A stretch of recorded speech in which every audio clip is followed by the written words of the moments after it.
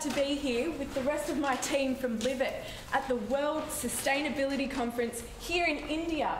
We've come, we've flown all the way from Australia to be here with you today. I know it's been a long day for you all. You've heard a lot of good speakers today, but I can tell you now you've heard from the rest and now you can hear from the best. I'm Caitlin, Director of Live It. 20 years ago, I was working in HR and renovating houses, and now I'm passionate about spreading the Live It philosophy to the rest of the world. Hi everyone, I'm Adam, Director of Live It. Back in 2017, I was working in the civil engineering sector and building my family home.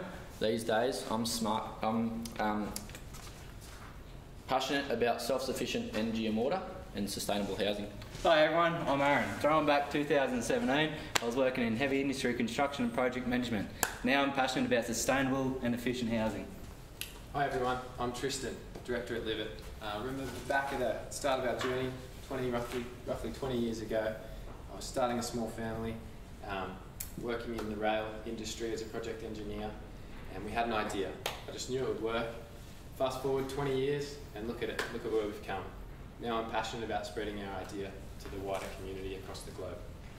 Hi, I'm Marty, background in cattle production and heavy industry. Um, I've been working with the Live It team since 2017, but I'm passionate about giving people more money and more time to do the things they love. Thanks, team. So, why are we the keynote speakers at this conference here today? We are here to share the Livet story. But to do that, we have to transport you back in time and space.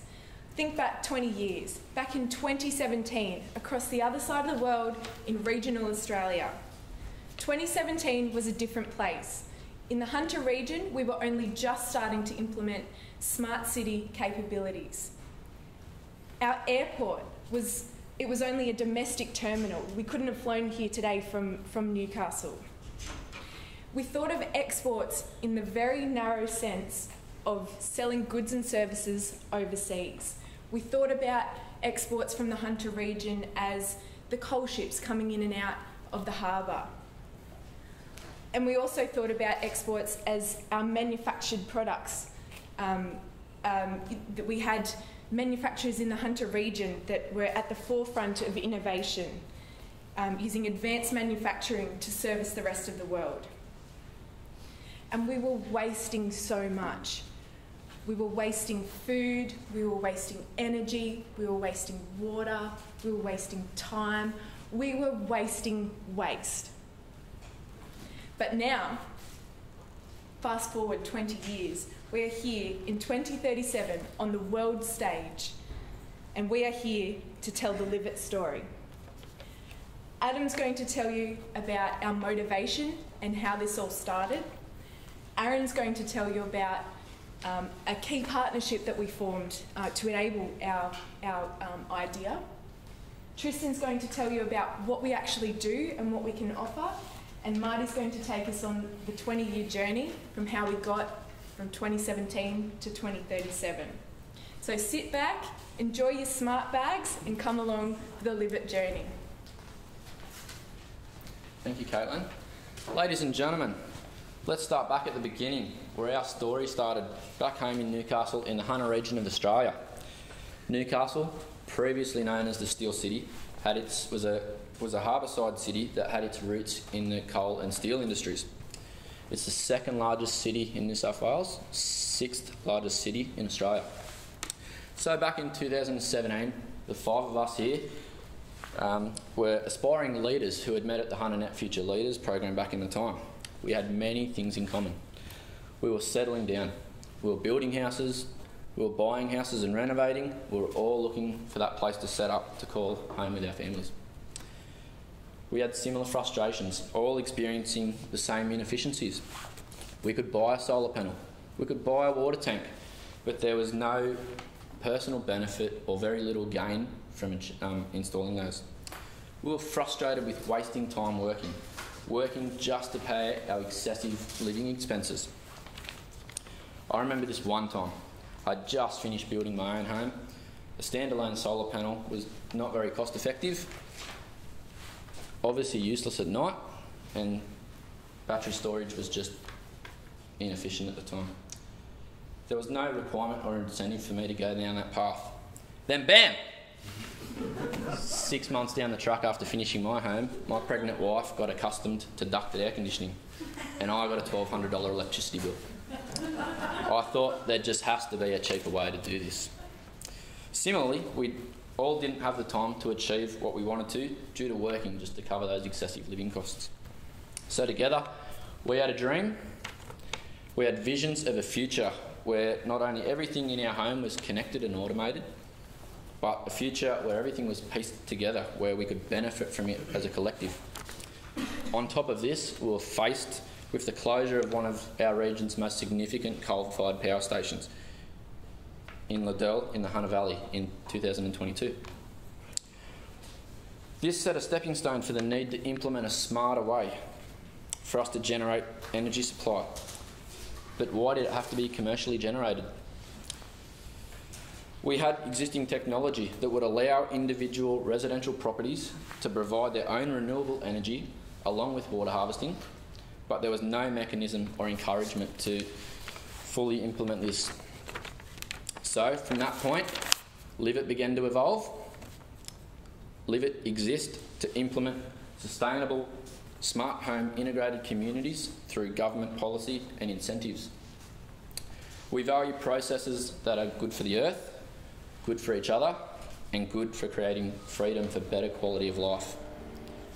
We here at Livit have a simple mission to export our philosophy for the benefit of the global community for future generations. We do not want to keep this a secret, and we strongly believe that other cities around the globe, such as you guys here in New Delhi, India, can achieve what we have achieved back home in Newcastle, Australia. So, what Livit do? You're all asking yourselves. We are not a tech company, and we are not trying to be either. Through consultation, planning, and great motivation, we have implemented standards for new homes and retrofitting of existing homes. We make homes energy efficient, water efficient, and sustainable long term. Livit are simply a consultancy that collaborate with government sectors such as local councils and development corporations to design and implement sustainable smart home strategies. Our aim is to create sustainable cities everywhere that are capable of capturing their own energy and water. Live it, strive to revive, reuse, recycle, and reduce the way we use our key resources. Livit are all about setting up a standard for regions to create a community of sustainable and self sufficient homes that are capable of operating off the grid without relying on public infrastructure. Thank you. Alright, so when the five of us first got together, we had this grand vision. We knew it would make a huge, huge positive impact on the economy, the environment, and the everyday household. But we had a problem. Smart home technologies were expensive to purchase and to install, and the everyday household just could not afford this. But thinking back 20 years ago, the average household was raising a family. They were paying a mortgage, they were paying bills, power, gas, water. How could they afford to purchase and install this technology? So, also, as Adam mentioned, there was increased pressure with the closure of the power stations, which is going to drive demand of power and increase bills. So, sorry. Yeah, so we identified we need a key partnership with the public sector to help drive and influence the public to get on board with our vision. We identified the Hunter Development Corporation. They, the HDC had similar goals to Livit. The HDC outlined a 20 year blueprint for the benefit of the Hunter to improve planning. For the first time, the Hunter was going to be planned for as a whole. Land use for both rural and resource areas and environment to protect the diversity of Australia. So, the HDC brought together the region's leading councils, 10% of the state's population, and their drive was to create a leading regional economy, a rich, biodiverse natural environment, thriving communities, and greater housing choices and jobs. So the HDC also had the backing of the state government. They had the influence to lead and lead the public to the Livit vision. Remember, back in 2017, this is a really hard idea to get across to the public. Asking the public to increase their rates, yearly rates, was just going to be a hard point to convince. We needed help. So the scene was set. We went to the HDC with our model and we started a campaign. The HDC got on board. And the res- rest is history and the results are fact. So here we are, 20 years on, in India. We're here to export our model to influence and drive government policy and incentive. So get on board with us. We'll drive your government, we'll improve your environment quality of life whilst protecting and growing your back pocket. Government policy incentive is key. Thanks very much, Aaron. All right. Well, by now you're probably wondering, what did we actually do? Well, I might start by answering that question and saying, what didn't we do? Adam touched on the fact we're not a tech company. We don't pretend to be. On top of that, we don't design, manufacture, or install the products themselves. So, what do you do? You ask. Well, what we do is we implement change based on thought leadership. We've created a central hub, a place that can be used as a framework to achieve a sustainable region as a whole. Through what? Okay, this might not knock you off your chair and knock your socks off, but we used existing technology to allow everyday individuals to access solar, battery storage, and water and water storage in their homes. Sounds pretty simple, right? Essentially, it is. Take solar, for instance. We all take power for granted. We need it every day. We need it reliably. Back in 2017, Australia was having issues with reliable power. As Adam mentioned, we had power plants closing down. We needed a solution. Solar's great. It's free. It's renewable, and it's green. Just one little hiccup. The sun doesn't shine at night, does it? So, to overcome that, back in 2017, this new technology came about battery storage. Pretty much the fourth industrial revolution in technology. This brought about strong competition among, among industries and companies vying for that all important electric car that we see driving around today. So we tapped into this to provide power when people needed it most. Cook their meals at night time and in the mornings have their shower when they wake up. Water storage tanks, our third item. Back in Australia, we're the biggest water consumers per capita on Earth, which is pretty ironic, really, considering we're basically one big desert with a few palm trees around the edges where people live. We literally poured our water down the drain back then. Now, we capture it and reuse it in our toilets, dishwashers, washing machines, even drinking water. And then we capture it again and use it on our gardens. The cost. We recognised up front this is not a one size fits all approach. It's Very hard to get someone in a two bedroom home to pay for what someone's using in a four bedroom home. So we created a simple framework to allow for this, as you can see. Now the benefits, they're pretty simple too. They're pretty self-explanatory. Solar and battery reduce power costs by two-thirds for average Australian. Recycled water and rain tanks cut the average household water consumption by up to 30%. Okay, great. I could have come up with that, you say? But the magic happens when we brought it to a whole region and a whole community, because then everyone's working together and the benefits come about tenfold. We also reduce the strain on our electricity infrastructure. We reduce the strain on our dams and water sources, all important. Our stormwater infrastructure didn't need to be upgraded as our population grew. Our sewer maintenance was reduced drastically, all important. Our runoff into the ocean for the environment, the greenies, well, we cut that by two thirds, didn't we? Greenhouse gases, they were reduced as well. So, in closing, an added bonus to our scheme over the last 20 years is that Hunter residents back in Australia have had the greenest gardens in the state. We've also had the best public infrastructure, parks, playgrounds, and sporting fields. So, if you think this is something that interests you across the globe, we're keen to get together and have a chat and see if we can make it happen. Right. Thanks, Tristan. Hi, I'm Marty, and I'm going to step you through directly the last 20 years in sort of a five-year time frame. So we had the wonderful idea, everyone has a smart home, off the grid, all the rest of it. But how do you actually implement it and make it happen on such a large scale?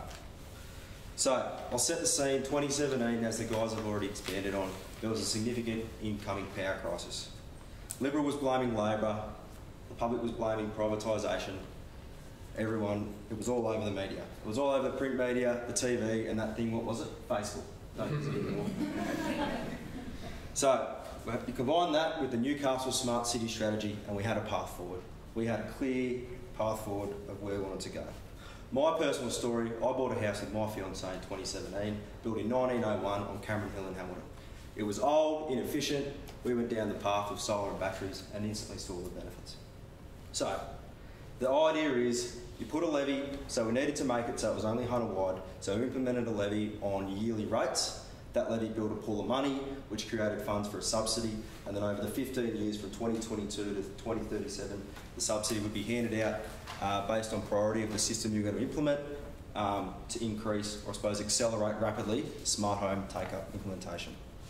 So, subsidy, the idea was we've got a nice round figure, 300 bucks a dwelling, and by 2037, 70% implementation. That's the nuts and bolts of it. Now, I'll step you through how that, how that went through over the 15 years. So the first five years, we developed our partnerships with the Hunter Development Corporation, and we got the levy introduced. By 2021, we collected our first batch of funds, about $90 million, that's $300 a household. In 2022, we started handing out subsidies. Subsidies were handed out based on uh, priority based on the size of the scheme you implement, benefit to the community, etc. We had significant public, we had significant public resistance. If you know the Kotter model for change, we had an overarching sense of urgency, however, with the power shortage. So we acti- activated public policy and we had a unique chance to develop society in a pro- prosperous Hunter region. So by 2021, when the subsidy kicked in, blood was on the walls. It was all over the place. We were the biggest enemies in the Hunter Valley. Um, prices were through the roof. Liddell shut down. There were blackouts constantly through the warmer summer months and the colder winter months. But we bonded together with heavy industry to shut down heavy industry in this time to keep the power on for households. We stuck to our partnerships and stuck together. There was significant public pressure, however, and the media was making us out to be the enemies. But we were committed. By 2027, through the first five years of the scheme, nearly one quarter, 24% of all households in the Hunter had implemented smart home technology. So they've received the subsidy, which covers about 30% of your costs, and put on solar, batteries, water storage. You get the idea. Also, by that time, about $600 million in subsidies were given out, and we estimated the industry was worth about $2 billion over that time. So the flow on effects were starting to take hold. New Delhi could be no different. India could implement this. Just ask yourself, can this be done? By 2027, you can see it here. Through the next five-year block, 2027 to 2032, the population of the Hunter had grown to over 800,000 people. There are over 340,000 dwellings, and by the end of that period, 45, 45% of all homes were smart home technology. Power prices were starting to come down, demand on the grid was starting to lessen, and people could, the momentum was growing. It was snowballing. We were over the hump. If you, if you think about the work we're over the hump, and it was smooth sailing from here. The Live It motto, home is where the smart is, was starting to become the beat of the Hunter drum. Nearly half of all residents had travelled down this journey. I remember voting at a local election at the time and thinking back 10 years about how we were the, the enemies and the worst people in the room, and now we were the heroes. We'd started the journey. Competition for the subsidy was now heating up. People were seeing their neighbours not paying for power bills, using their own water, living better, and people were starting to put in bigger systems and bidding for higher, bidding to get that subsidy. Residents of the Hunter were doing anything to embrace a sustainable lifestyle. Small business was booming.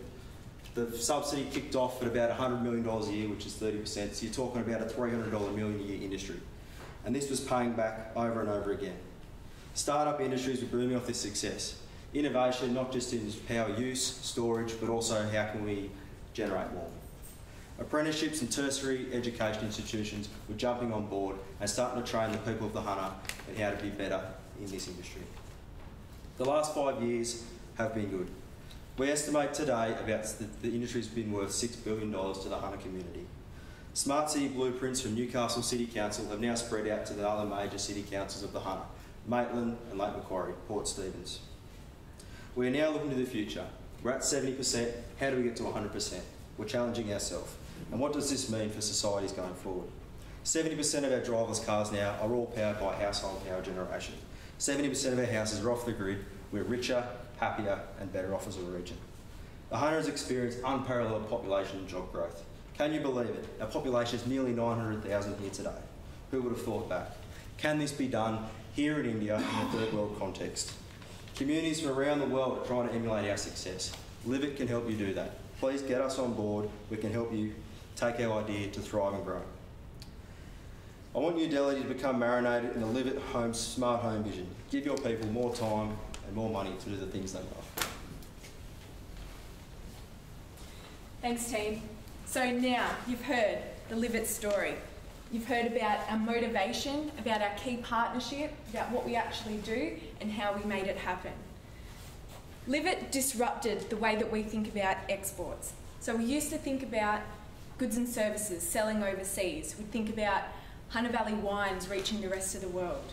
But now we think about activating government policy. We think about exports as spreading ideas to the rest of the world. And why are we here today? We're here to export our idea to you. We are not a tech company. Tech IP is outdated. Our IP is thought leadership. And we want you to get on board, to live it in India. Our idea is rep- replicable and scalable, and we want you to reap the benefits of a smart and sustainable community. Because after all, home is where the smarties. Just